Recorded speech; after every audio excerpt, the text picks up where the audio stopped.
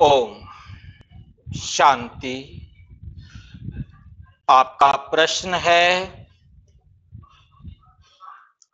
परमात्मा ने हमें एडॉप्ट किया है। फिर हम आत्माओं को किसने बनाया?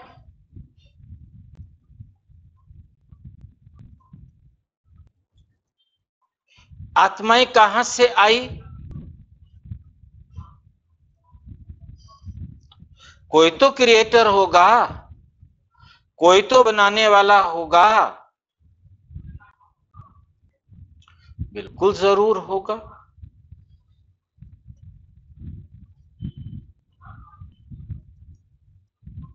तो हम देखते हैं कि ट्रुथ क्या है, सच क्या है। सच को जानने के लिए सबसे पहले सच की परिभाषा को जानना ज़रूरी है। और सच की परिभाषा है जो था, है और रहेगा। जो अनादि है और अनंत है। जो शाश्वत है या सनातन है, जिसका आरंभ और अंत ना हो, उसे कहते हैं सत्य। तो हमें सत्य की परिभाषा हमारी बुद्धि में रहे तो हम समझ सकते हैं कि सच क्या है।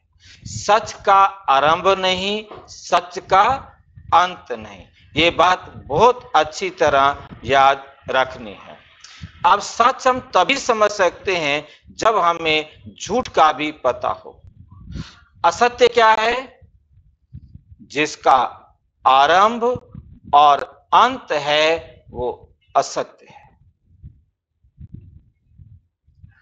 अब हमें पहचानने के लिए सच कहें तो हम किसको कहें? सबसे पहला सत्य है समय, जिसका आरंभ नहीं, जिसका अंत नहीं, जो अनादि है और जो अनंत है। इसके बाद आता है, समय सत्य है तो समय का झूठ क्या है? सबसे पहली बात, हमें सत्य समझ में आया। अब सत्य के झूठ को ध्यान से समझना है। समय सत्य है, परंतु समय की एक इकाई, चाहे वो एक सेकंड हो, वो आरंभ भी होता है और अंत भी होता है। जिसका आरंभ और अंत है, वो झूठ है। तो समय की एक इकाई का आरंभ और अंत है, वो झूठ है। इसी प्रकार एक मिनट एक घंटा, दिन, सप्ताह, महीना, साल, युग, कल्प, उनका आरंभ भी है और उनका अंत भी है। तो वो सब के सब क्या है? झूठ है। फिर समय सत्य है, क्योंकि समय एक चक्र में चलता रहता है। एक सेकंड खत्म हुआ, दूसरा सेकंड शुरू।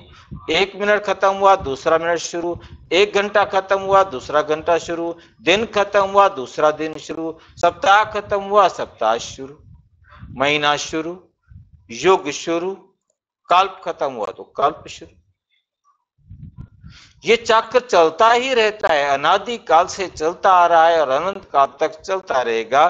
तो हमें समझ में आता है, समय सत्य है, परंतु समय की एक इकाई चाहे वो कितनी छोटी हो, चाहे वो कितनी बड़ी हो, उसका आरंभ भी है, उसका अंत भी।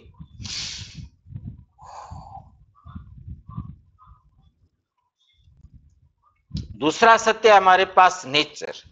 आध्यात्मिक दृष्टि से संसार पाँच तत्वों से बना है, विज्ञान की दृष्टि से तीन तत्वों से बना है। चाहे वो तरल है, चाहे ठोस है, चाहे गैसिस है, भूमि, गगन, वायु, अग्नि और आकाश। ये तीनों सत्य है। क्योंकि किसी भी एलिमेंट को हम क्रिएट नहीं कर सकते, किसी भी एलिमेंट को हम डिस्ट्रॉय नहीं कर सकते। They were they are they will be ठीक इसी प्रकार पाँच तत्वों में से किसी भी तत्व को हम क्रिएट नहीं कर सकते, किसी भी तत्व को हम नष्ट नहीं कर सकते। They were they are they will be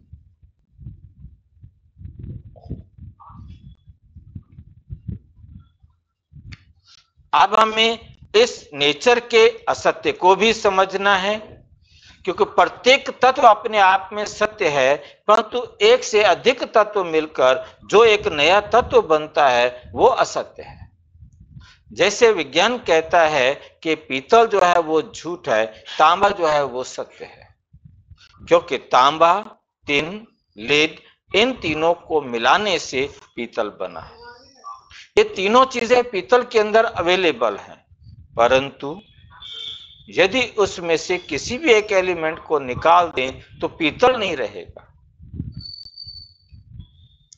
ठीक इसी प्रकार ये पाँच तत्व से बना हुआ शरीर सत्य है, परंतु पाँचों तत्व असत्य है, परंतु पाँचों तत्व अपने आप में सत्य है। भूमि जल, अग्नि, वायु, ये पाँचों तत्व जो है ना क्या है? सत्य है। परंतु इन पाँचों तत्वों से बना हुआ ये शरीर जो है वो असत्य है। तीसरा सत्य है आत्मा। आत्मा को आज तक किसी ने बनाया नहीं, आत्मा कभी मरती नहीं।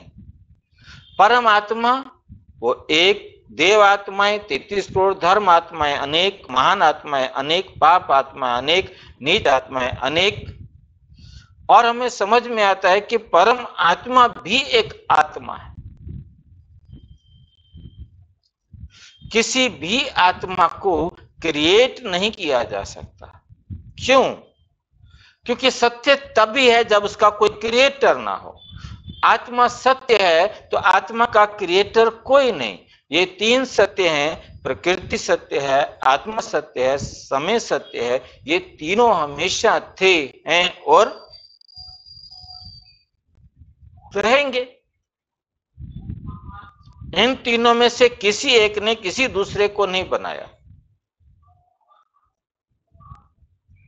तभी ये सत्य है, क्योंकि कोई क्रिएटर नहीं हो सकता। इस लाइन को बहुत अच्छी तरह से हमें समझना है। जो सत्य है, सत्य की परिभाषा ही महत्वपूर्ण है कि वो हमेशा थी, है और रहेगी, उसे किसी ने क्रिएट नहीं किया।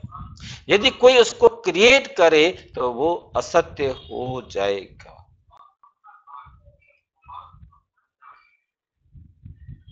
और विस्तार से जानना हो तो प्रजापिता ब्रह्मा कुमारी ईश्वरीय विश्वविद्यालय के किसी भी सेवा केंद्र को संपर्क करें। और यदि परमात्मा के बारे में, आत्मा के बारे में, सृष्टि चक्र के बारे में, कर्मों की गति के बारे में आपके मन में कोई प्रश्न उठता हो तो उसके लिए इसी वीडियो के डिस्क्रिप्शन बॉक्स में साधो हज़ार वीडियो का एक सेट, जिसके हम सात भागों में बांट कर डाला गया है, आप उन्हें देख सकते हैं। आपके सभी प्रश्नों के उत्तर वहाँ मिलेंगे। और यदि किसी प्रश्न का उत्तर आपको वहाँ नहीं मिलता है तो आप nine two one three one zero six nine eight six पर व्हाट्सएप करें। ओम शांति।